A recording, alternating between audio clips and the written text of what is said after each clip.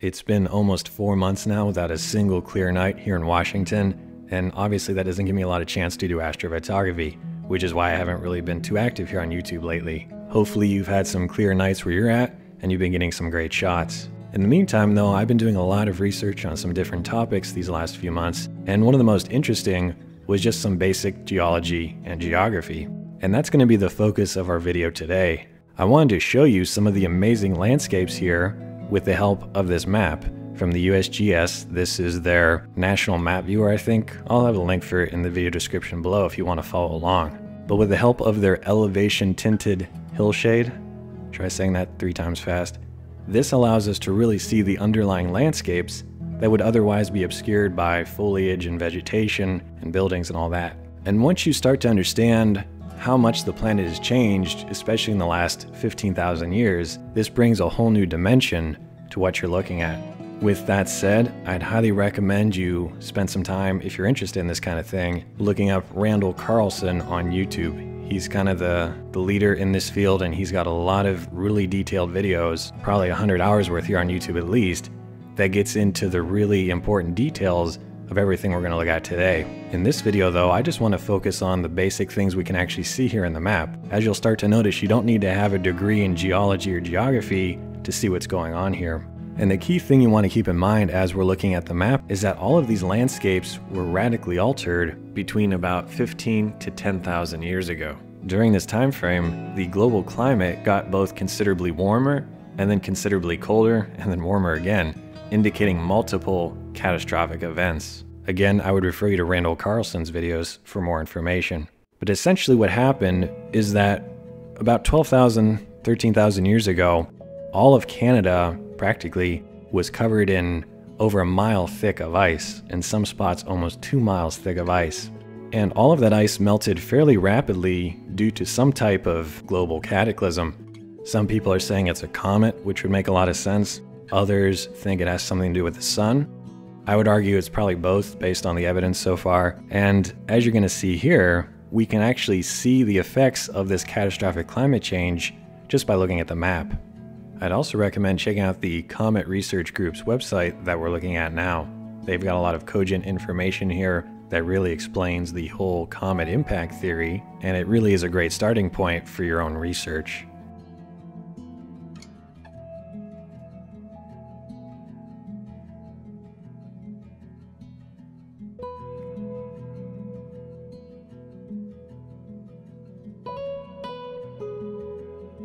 Anyway, now would be a good time to get back to the map. I'll just start with some areas that I'm actually familiar with, having lived in them and traveled through them over the years. And one of the most popular is the one that Randall really focuses on. In fact, we did a workshop with him in September. We went out to the Scablands and he showed us around and we got to see these landscapes in person. The footage you're watching now was captured by two of the guys on our trip, Milo and Casey, and I'd highly recommend watching their video if you want to learn more about these landscapes. You can see right here, we're in the border of Washington up here and Oregon down here, we have what's called Wallula Gap. The green is the more depressed area, which means there was a lot of erosion there, and this was all caused by the massive floodwaters coming off of the melting ice sheets up in Canada. This video we're watching now is one of the best examples to showcase the scale of these floods. And if you go through and read some of the Native American myths from this region, they all talk about this massive wall of water and these floods, and this gives you the perfect context for what they're talking about.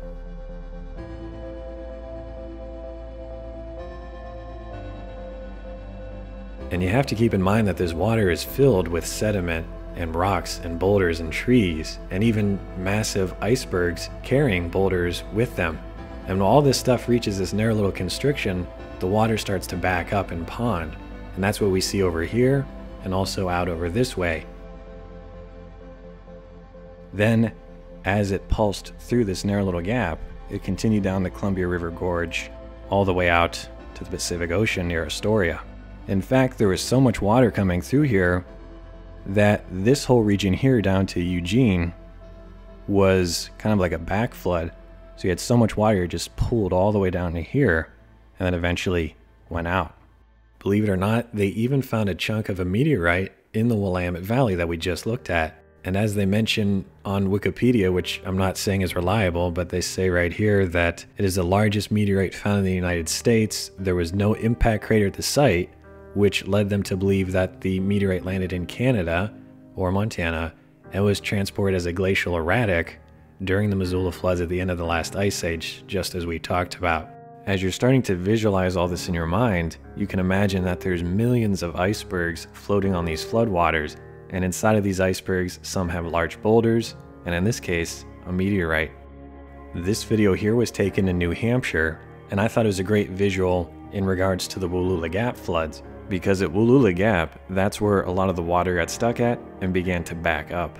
So this is a great visual to show you how when the water is filled with ice, not to mention the trees and rocks and icebergs and all that, it really changes the dynamics of those floods and this just helps to give you a sense of scale. If we look at this video here, this also reveals an important point. When that narrow gap got constricted and filled with icebergs and rocks and trees, eventually the pressure got so intense that the floods started to back up and go in the reverse direction. And there's actually stratigraphic proof that shows that this happened during those ice age floods. The current of the rivers reversed because there was so much water trying to get through a narrow area. And then as these icebergs and rocks and trees get forced through that gap every so often, the water gushes down, these floods clear out a little bit, but then there's another constriction, and this keeps happening over and over again, which leaves us a lot of really interesting evidence throughout the Scablands. If we follow these erosional features further north, we can see that they tend to go straight up into Canada. And this is an area where we have this confrontation between the more uniformitarian mindset and the catastrophist mindset. The current mainstream theory is that all of the erosion we're seeing in the Channel Scablands was caused by Glacial Lake Missoula catastrophically flooding out. What they say is that Glacial Lake Missoula would fill up with water, in fact, so much water that would be the size of Lake Erie and Lake Ontario combined, just to give you some idea. And when all this water would fill up, it would get stuck at the Purcell Trench Lobe near Sandpoint, Idaho. Eventually, the pressure would become so strong that it would burst through the ice dam and then flood out through the scablands and cause all the erosion. And the main reason they came up with this idea is because we can see similar events happening in Iceland today. But there's two big problems with this theory. The first is that they're saying this event happened over 40 times in a row in the span of a few thousand years. That means Glacier Lake Missoula would have to fill all the way up, the ice dam would come down, block it off, it would burst through, the ice dam is now gone, the lake drains, the lake fills up again, the ice dam reforms, and this just happens over and over and over again. And when you look through the climate history and just look at the physics, it doesn't make a lot of sense. The other problem is that they tend to ignore all of these ice sheets north of the Scablands for some reason and they still attribute all of this erosion, for the most part, to Glacial Lake Missoula, not the ice sheets due north of it melting and catastrophically flooding out. And this is why this map is so great, because we can see with our own eyes that there's all these mountain valleys that must have been filled with melting water and ice pouring down into the scablands. If we trace all of these valleys back to their central location, we find a very odd flattened out area in the midst of the Rockies. This is where Prince George is at today, and this would lead us to believe that maybe something happened here during the Ice Age. Therefore, the logical assumption would be that there was some maybe some sort of impact right here into the ice sheets. And again, you can imagine if there's a mile thick of ice, you're not going to have a big crater beneath that necessarily, as the ice would absorb most of that impact and then melt. And this is one of the things that Randall has spent the last 20 years investigating and trying to find evidence that would suggest that a lot of these Scablands floods started up near Prince George, getting stuck at certain points and creating these massive ponds, and then flowing out to the Pacific Ocean. Another interesting side note is that the channeled Scablands we've been talking about here is mainly composed of basalt. This basalt was extruded from the earth, I think 16 to 10 million years ago, somewhere in that range. And that alone is mind boggling because as you're driving through these landscapes, you're seeing the erosion but it's happening on top of this really hard volcanic rock that's just piled for hundreds, if not thousands of feet high. It's really hard to comprehend what you're seeing. And that leads me to an interesting theory about how the Yellowstone supervolcano formed. One of the leading theories that I've heard is that the Yellowstone caldera was caused millions of years ago by a very high energy impact with an asteroid. This asteroid must have been very dense and moving at a really high speed just straight into the Earth. Think of it like getting shot with a rifle. Then, as the Earth began to bleed from this wound, it was extruding all this magma through this region right here in southern Idaho. Speaking of which, the Craters of the Moon National Monument is a great place to stop if you are traveling through southern Idaho.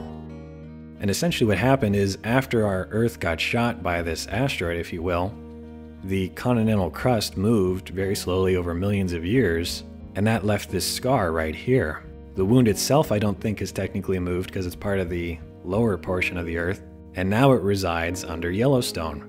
And that's what all that talk about the supervolcano blowing up could relate to, is that it had its origins in another catastrophic impact. That's just one interesting theory that I've heard that explains this feature right here. And right now, we're looking at something that most people couldn't even conceive of the power of this one singular event and all the erosion it's caused in this little corner of northwestern America and southwestern Canada. But if we go over here, we'll see similar erosional features.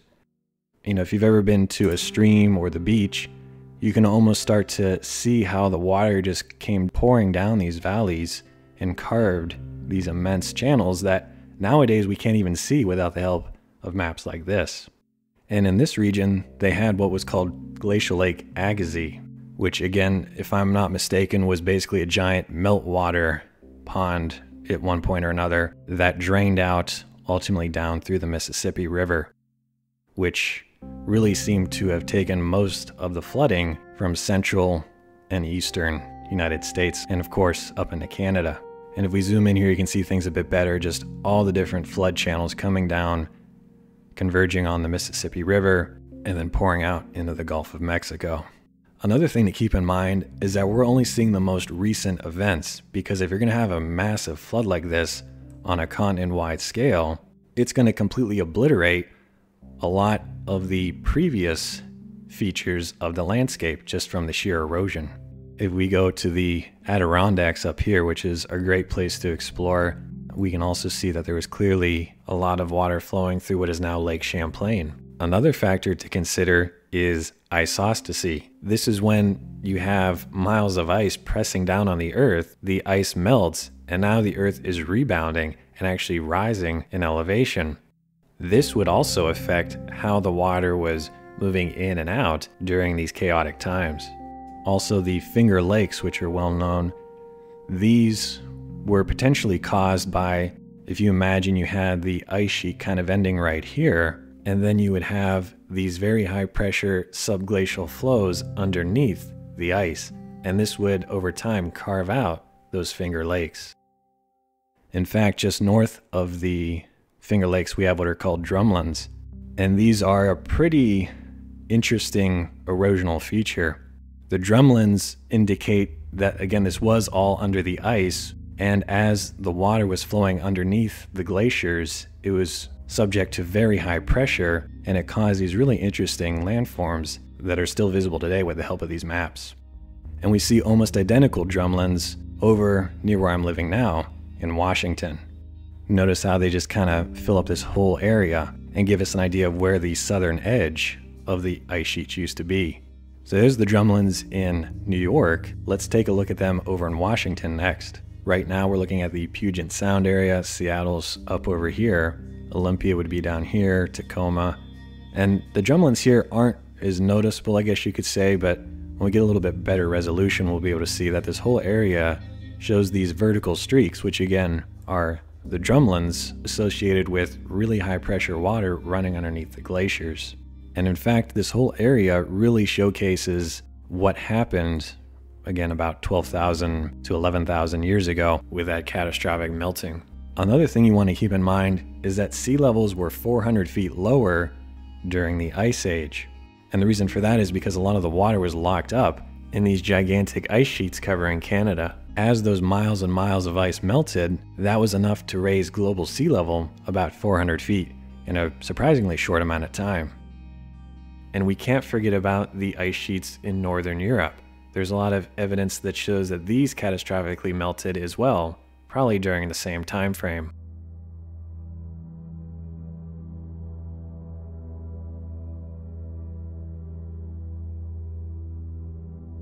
We're jumping around again. This time we're in the border of Arizona and Utah. We have the Grand Canyon right here. And this is arguably one of the most interesting areas to notice the erosion if you know what you're looking at.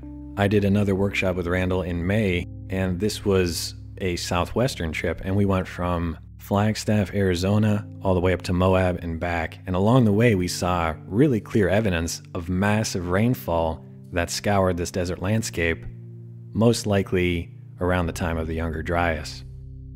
It doesn't show up too well here on the tinted hillshade map, but I'll probably do a separate video if anybody's interested where I show you the photographic and Google Map evidence that really drives home these points of just unfathomable rainfall in the desert.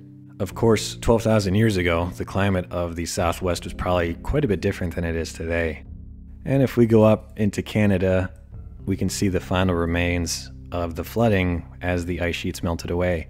Again, we have these streamlined erosional features but these are massive. You know, this isn't just some little thing at the beach. These are just really huge areas of Canada just completely stripped through and nobody would have any idea because now it's just covered in forest and prairies and plains and you can't really make sense of it unless you see it with the tinted hillshade which is another nice benefit of our modern technology even up over here we can see the remains of these flood areas breaching out and just uh, taking out everything along with it I think it's pretty obvious that we had multiple catastrophic events happen from the Bølling-Allerød to the Younger Dryas, and all the evidence backs that up. From a mass extinction of animals across the globe, to sea levels rising 400 feet, to the mile thick ice sheets across all of Canada melting within just a few hundred years, clearly that's going to have some impacts on the planet, and the erosion that we see here would obviously tie right into that. But uh, that's really all I wanted to talk about today. I really just wanted to let you guys know there's resources here because I personally think it's fascinating. Just come in here and spend however long you want just looking at all the erosion, maybe where you live, and get an idea of what might have happened during these chaotic times. And if you want to learn more about this, I'll have links to Randall Carlson's page. He's really the, the main guy talking about this from what I've seen, and he does a really good job of laying it all out. Well, I hope you guys enjoyed this radically different video, and I might do one or two more videos if you guys are interested showing you some of my photos that I've taken living on the road the last few years. And now that I have some more context to put these really cool landscapes of the Southwest in with the global changes that we've experienced within the last 15,000 years. So thanks for watching, and I'll see you guys hopefully in another video.